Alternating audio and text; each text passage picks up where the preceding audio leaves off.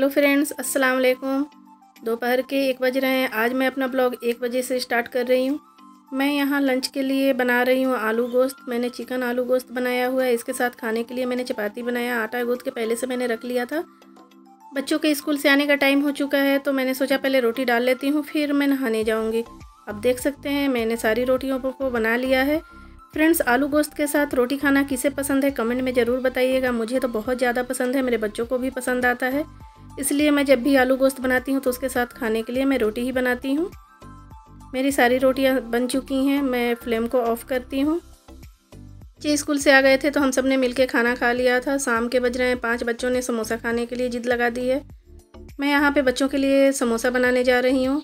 इसके लिए मैंने समोसा पहले से बना के रख लिया है। इसकी रेसिपी मैं शेयर नहीं कर रही हूँ, मैं ऐसे ही बनाते हुए आप सबके साथ शेयर कर रही हूँ। ये बहुत क्रिस्पी बनता है और बहुत झटपट से बन जाता है तो मैंने ये चिकन समोसा बनाया हुआ है। आप इसकी स्टफिंग चाहें तो चिकन मटन या पनीर से भी कर सकते हैं। मैं यहाँ पे चिकन समोसा बना रही हूँ, बहुत क्रिस्पी सा है इसे मीडियम टू लो फ्लेम पे मैंने सेक लिया। आप देख सकते हैं, दोनों साइड से क्रिस्पी सा फ्राई कर लिया है।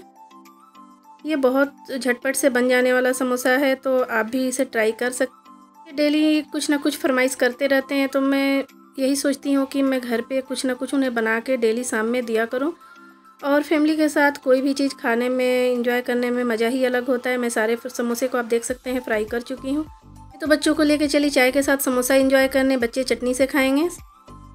तो फ्रेंड्स किस किस को चाय के साथ समोसा खाना पसंद है, कमेंट में ज़रूर बताइएगा। जैसे कि अगली वीडियो में आपने देखा कि हम सब शॉपिंग पे गए थे। हम सबने कुछ शॉपिंग की हुई थी, सिस्टर की लड़की के लिए हम लोग कुछ ड्रेस लिए हुए थे। ये क्रॉप टॉप टाइप पे टॉप स्कॉट है, ये कॉटन में है, ऊपर का टॉप जो है हौजरी में है। ये प्योर कॉटन में इसका जो कपड़ा है बहुत अच्छा है और इसकी प्रिंट है ना, बहुत ब्यूटीफुल है। तो हम सबको ये बहुत पसंद आया। आप सबको कैसा लगा कमेंट में ज़रूर बताइएगा।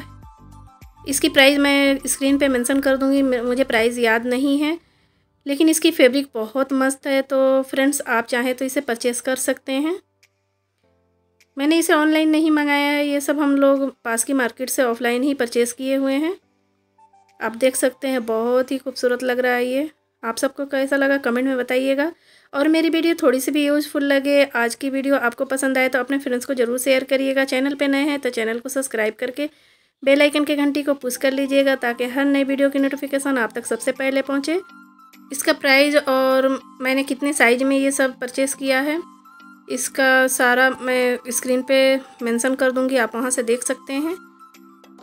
ये मेरा छोटा सा ब्लॉग आप सबको कैसा लगा कमेंट में ज़रूर बताइएगा। मेरे ब्लॉग पे ऐसे ही अपना प्यार बनाए रखिए, आप सबके प्यार और सपोर्ट की बहुत ज़रूरत है तो फ्रेंड्स आप सब ऐसे ही सपोर्ट करते रहिए। आप सबका प्यार देख के मुझे बहुत अच्छा लगता है और कमेंट्स पढ़ के बहुत अच्छा लगता है तो प्लीज़ एक कमेंट ज़रूर किया करिए। वीडियो को यहीं पेंट करती हूँ। अल्लाह हाफिज़।